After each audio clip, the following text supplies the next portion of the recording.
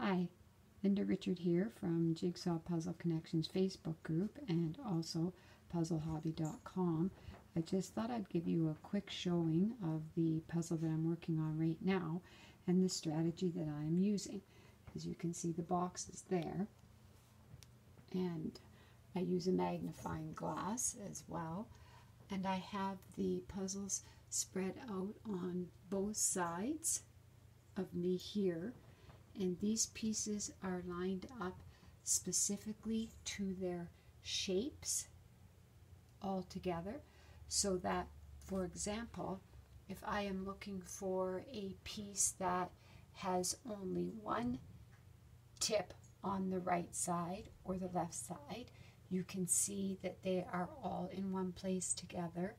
And likewise for each of the ones that have three tips and two tips on the left side, two tips on the right side.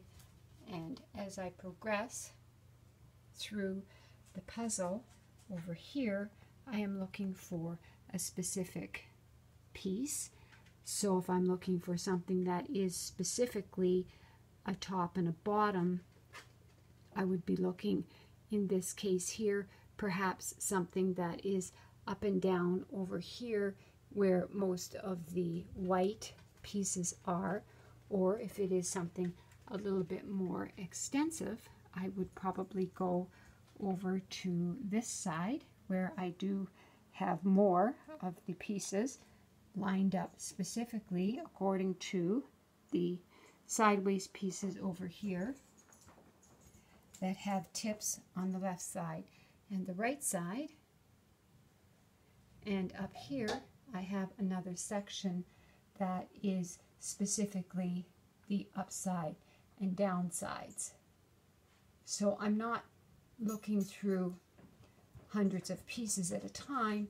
I am just looking in a general area. I just thought that might be of interest. Okay, till next time. Bye-bye.